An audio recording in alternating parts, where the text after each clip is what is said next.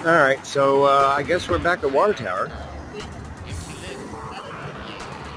You know, one day we're gonna have to go in there, but today, let's go check out Water Tower Place.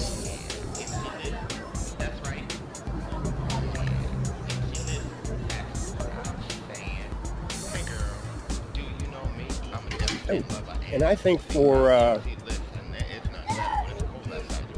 I think for this, we should break out the other camera.